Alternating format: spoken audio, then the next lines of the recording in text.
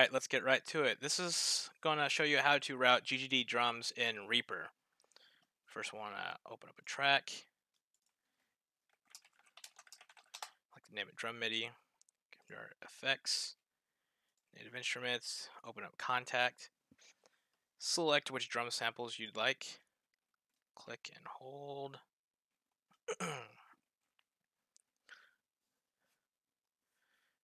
Insert awkward silence as my computer loads up the program. Alakazam! Alright, once it loads up, uh, if this is your first time opening up this program, you probably won't see your outputs. To get that, you come up to these three rectangles up here, click, and make, and then uh, click on the outputs. Then you'll be able to see them down here. Next, you want to come to, to this little information tab right here. Click that, and on the MIDI channel, make sure it says Omni. Down here now, you want to make sure that says multi-out. I don't know if there's a faster way to do it, but I only know the slow way. On each of these aux channels, we're going to want to unassign all these, so you'll go way down here, not connected, not connected. Uh, don't worry about that warning. And you will follow suit for the rest of these aux channels.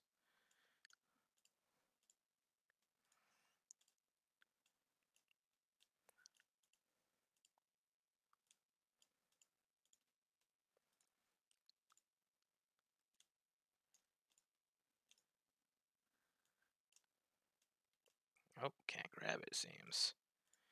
There we go. Now we're going to want to add our outputs. So we got one channel already, and how I do it is I follow these so that you'll have one channel for kick, one channel for snare, one channel for toms, and then in the cymbals it kind of splits them up. We're going to do a channel for hi-hats, a channel for ride, a channel for effects, and I also separate the channels just for the cymbals for the overheads, room close, room far. Uh, you'll as you look in the other tabs, you'll also see those for the other uh, components of the drums, but I don't dive too hardcore into it, so I usually lump all those together. So that'll be one, two, three, four, five, six, seven, eight, nine total outputs you want. So come up to your plus sign. You want to have this clicked, and uh, normally that will is supposed to assign all the all the channels like that you add like this one two and then when you add second channel it should be three four and so forth. Uh, recently it has been doing it for me.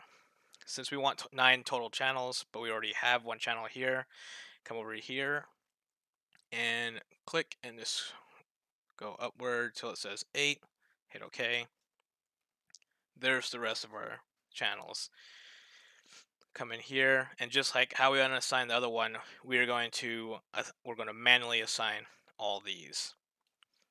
So you'll come over here click. Well it doesn't want to.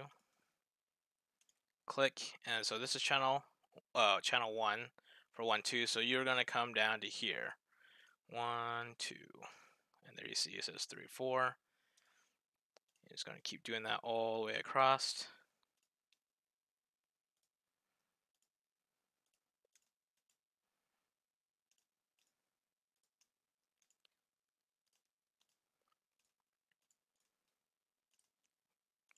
go into the unassigned.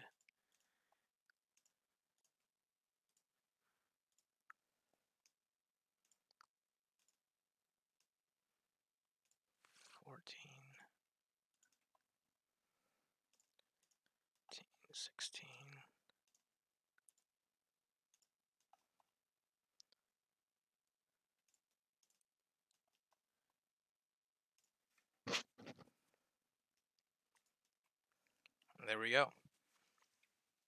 Now you can also leave these titles up here as ST1, 2, 3, and so forth.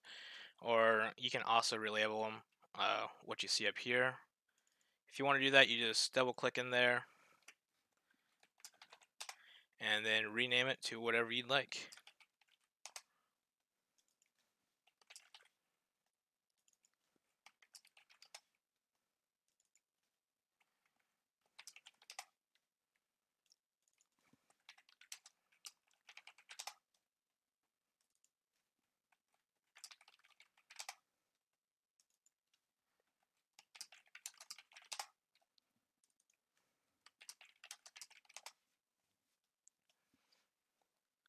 Now that we got this all set up, uh, a very important step is to come up here to this exclamation mark and click it. Uh, I'm not sure what it does exactly, but it almost acts like a refresh. So now when you come down here to assign all your drum components, it'll match what you have down here. And like I said, I don't get too crazy diving too far into this, so all these will just be on the kick channel. You can still come in here and uh, adjust your settings, but it'll all be routed out through the one channel.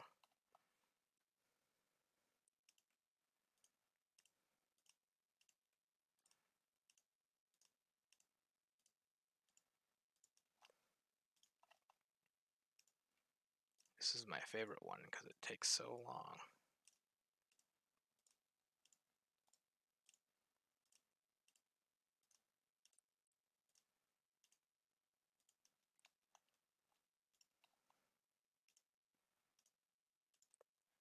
Let's ride and uh, these are the only ones I route separately. Again, personal preference. You can add as many channels as you want, and you can route as much as you want out up to 64. Uh, but like I said, I don't dive too crazy into it, so I'm not going to get that crazy with it. We're almost done with the setup in the VST. Now we just have to come up here to our out. And you can see where we end right here. And you just want to make sure that you keep hitting the plus button till all these, till the black blocks line up with each one of ours.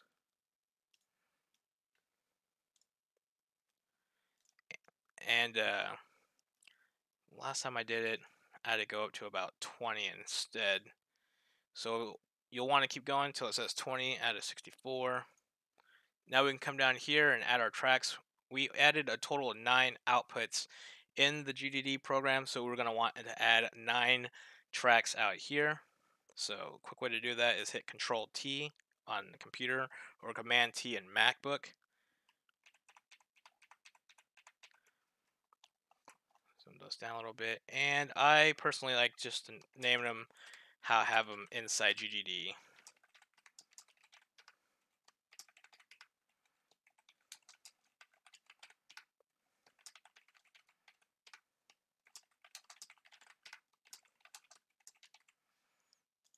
We go. Now you come up to the drum MIDI track for your send receives. You come down to here and you can do it individually, but you can add sends to all tracks. Now, we already talked about the stereo routing, so kick was always going to be 1, 2, but now down here for snare, come down to stereo source, you're going to want that to be 3, 4. And we're going to follow that all the way down.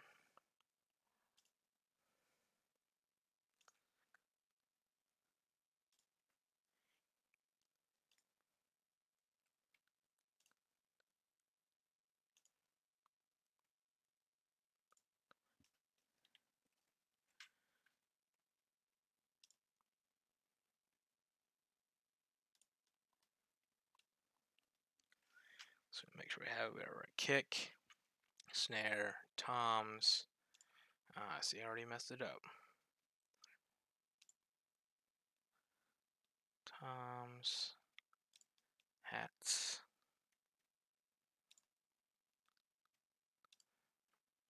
Ride.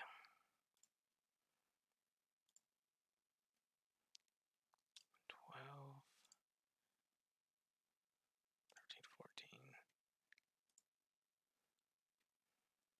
16, 17, 18. There we go.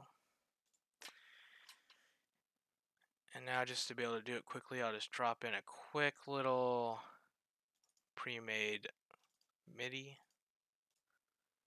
And you'll drop your MIDI or you'll write your MIDI into the MIDI track. And now when we play it, you should see all these tracks dancing with audio.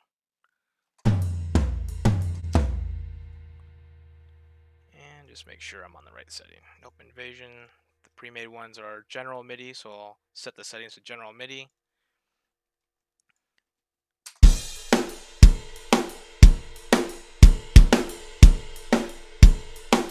can see all the different audio dancing around. Now this is obviously nice just because now you can come in here with the VSTs from Reaper or any third-party VSTs and go through each individual component and make it sound good to however you want it to sound. Now that is a crap ton of work and I do not want to, no one wants to do that every time they open up a project. So now if you come up to File, Project Templates, you can save this template it'll automatically take you to the address. Say drum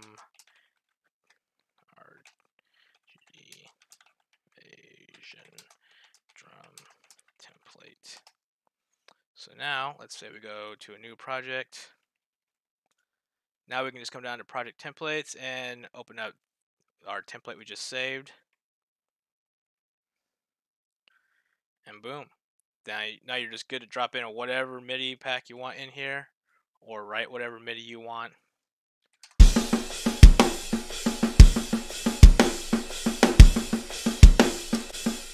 And there you go. That's how to route GG drums and how to make a template so you do not have to do the caveman way every time. Thanks for watching.